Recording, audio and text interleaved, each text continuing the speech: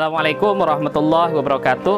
Perkenalkan saya Yasri Aulawi mewakili dari Pondok Pesantren Al Ahliyah yang beralamat Jalan Jenderal Sudirman, Kampung Bakan Maja, Desa Sari Mulia, Kecamatan Kota Baru, Kabupaten Karawang.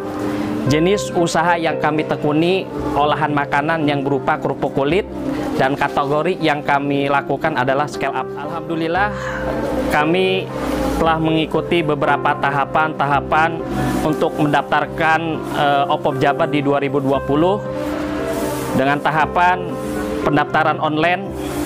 Setelah pendaftaran online, kami uh, dinyatakan lulus administrasi. Setelah lulus administrasi, kami mengikuti tahap ke satu yang dilakukan di Hotel Bis Karawang.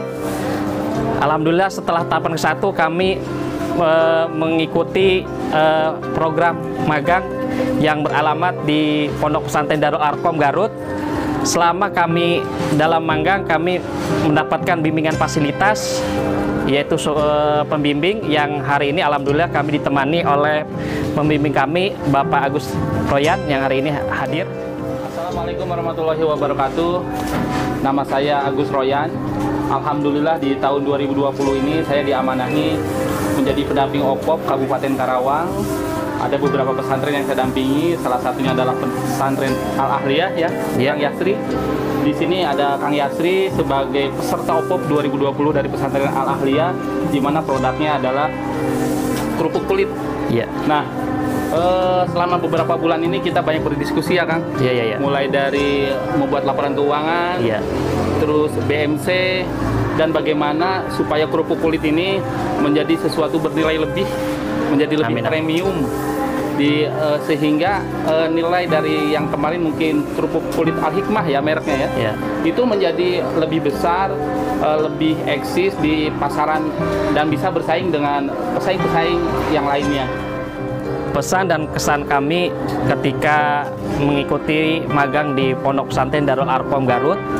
Kami banyak ilmu yang kami dapatkan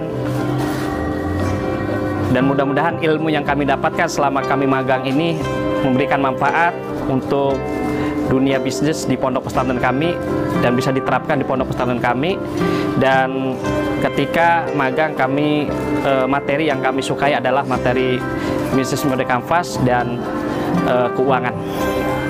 Untuk penguatan dana modal yang kami dapatkan di program OPOP Jabar 2020 eh, sekit, eh, jumlah 35 juta dipotong pajak dan eh, ada beberapa alat dan bukti yang kami beli eh, seperti pemotong kerupuk kulit, ada mixer untuk pembuatan balado, ada pembuatan apa namanya packing eh, otomatis dan ada yang lainnya.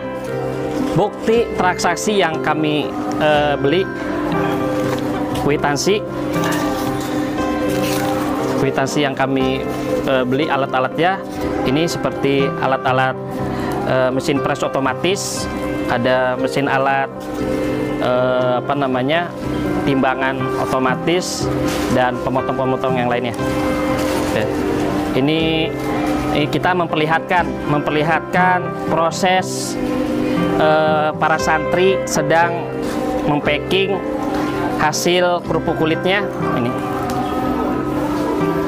Ini sedang lagi mempacking eh, kemasan-kemasan untuk dijual di dunia pasaran di sekitar Pondok Pesantren Al Ahliyah. Terima kasih banyak kepada Bapak Gubernur Jawa Barat, Bapak Haji Ridwan Kamil, Wakil Gubernur Jawa Barat UU Riyatul Ulum, dan Dinas Koperasi Usaha Kecil Provinsi Jawa Barat dan para staf-stafnya.